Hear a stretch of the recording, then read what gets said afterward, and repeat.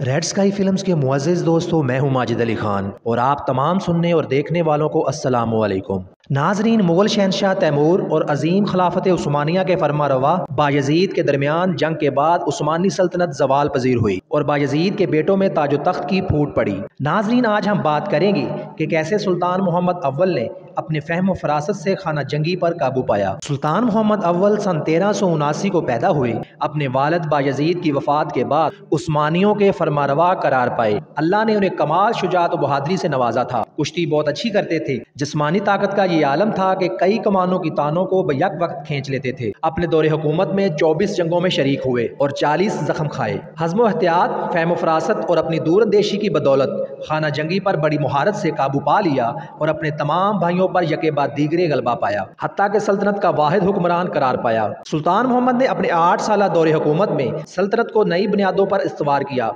और इनके सतूनों को मज़बूत करने की हर मुमकिन कोशिश की। इसकी हुकूमत का तवील दुरानिया इसी काम में सर्फ हो गया। बाज़ मौरखीन इसे दौलत उस्मानिया का मुससानी ख्याल करते हैं। नाजरीन, सुल्तान मोहम्मद को जो चीज़ दूसरे सुलातीन से मुमताज़ करती है, वो है आपका हजम एहतियात और इसके साथ हलीम बर्दाश्त। जिस शख्स ने कानून शिकनी की और सल्तनत की अतात से सरताबी की तो सुल्तान ने उसके मामले में हलमो बरदबारी का मुजाहरा किया। कुरमान के इलाके में अमीर ने जब खुद मुख्तारी का ऐलान किया और पापजोला सुल्तान की खिदमत में पेश किया गया। तो कुरान करीम की कसम खाने की वजह से सुल्तान ने उसे मुआफ कर दिया। और फिर जब दोबारा कसम तोड़कर अमादा बगावत हुआ और मुँह की खानी पड़ी तो दोबारा सुल्तान के सामने पेश हुआ तो उसे दोबारा माफ़ कर दिया गया। सुल्तान मोहम्मद की पॉलिसी का अहम हदफ सल्तनत की तमीर नो और दाखिली तौर पर इसे मज़बूत करना था। सुल्तान मोहम्मद के जमाने में बदरुद्दीन नामी एक शख्स ज़ाहिर हुआ। जिसने मुस्लिम दीन का रूप धार रखा था।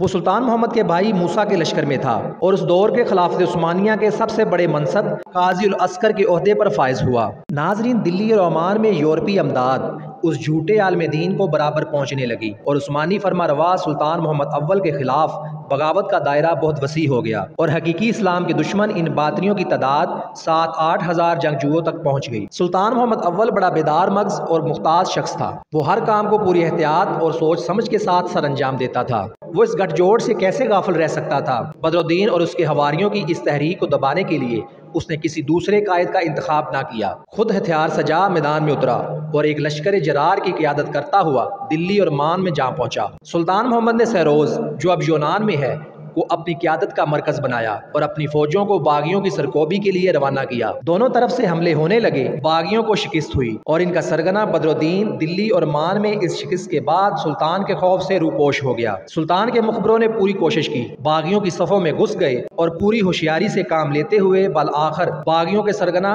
बदरुद्दीन को गिरफ़्तार करने में कामयाब हो गए। बदरुद्दीन को जब सुल्तान मोहम्मद के सामने पेश किया गया तो सुल्तान ने उसे पूछा कि क्या वजह है? मैं देख रहा हूँ कि आपका चेहरा जर्द पड़ चुका है। तो बदरुद्दीन ने बादशाह को जवाब दिया और कहा ए मेरे आका सूरज जब गरूब होने लगता है तो उसका रंग जर्द हो जाता है। सल्तनत के उलमा ने बदरुद्दीन से आज़ादाना मुनाजरा किया और इसकी शरई कानून के मुताबिक सजाए मौत का हुक्म सुनाया। नाजिन सुल्तान मोहम्मद अव्वल शेर अदब और फनून लतीफ़ा का कदरदान था। ये पहला सुल्तान है, जिसने अमीर मक्का की खिदमत में सालाना हदिया भेजा। इसको अलसरा यानी थैली कहा जाता था। दरअसल ये एक मखसूस रकम थी, जो अमीर मक्का को भेजी जाती थी। ताकि वो इस रकम को मक्का शरीफ और मदीना शरीफ के फुकरा व मसाकिन में तकसीम करे। नाजरीन, उस्मानी सुल्तान मोहम्मद अव्वल को बहुत पसंद करते थे और उन्हें पहलवान का नाम देते थे और इसकी वजह इसकी कमाल मुस्तदी और शुजात थी। अगरचे आल उस्मान के बाद दूसरे हुकाम इससे ज़्यादा शोहरत रखते थे, लेकिन ये एक हकीकत है कि वो उस्मानी सलातीन में बुलंदी अखलाक के हवाले से अजीम तरीन इंसान समझे जाते थे। नाजरीन, सुल्तान मोहम्मद अव्वल जब इन तमाम फितनों को ख़त्म कर चुका, जिनका दौलत उस्मानिया को सामना था तो मुल्क के दाखिली नज़म इस्तकाम की तरफ़ तवज्जो दी। उसने बाजीद पाशा को बुलाया और कहा, मैंने अपने बेटे मुराद को अपना नायब मुतन किया है। इसकी अतात करना और इसे इसी तरह मुखलिस रहना जिस तरह मुझसे रहे। मैं चाहता हूँ कि तुम फ़ौरन इसी लम्हे मुराद को मेरे पास ले आओ, क्योंकि मैं अब बिस्तर से उठ नहीं सकूँगा। अगर मुराद के आने से पहले अमर इलाही वाक़ हो जाए तो खबरदार उसकी आमद तक मेरी मौत का ऐलान ना करना। नाजरीन, सन चौदह सौ इक्कीस को सुल्तान मोहम्मद अव्वल एडियानोपल के शहर में वासले बहक हुए। उस वक्त उनकी उम्र तैंतालीस साल थी। नाजरीन, ये था खिलाफत उस्मानिया के जानशीन सुल्तान मोहम्मद अव्वल का एक छोटा सा तारुफ। तो उम्मीद करता हूँ कि आपको हमारी ये आज की स्टोरी पसंद आई होगी। मजीद ऐसी इन्फॉर्मेटिव और हिस्टोरिकल स्टोरीज देखने के लिए हमारे चैनल को सब्सक्राइब कर लें और घंटी के निशान को भी दबा दें, ताकि आने वाली हमारी तमाम वीडियोज़ आप तक पहुँच सकें। इसी के साथ अपना बहुत सारा ख्याल रखिएगा। अल्लाह हामी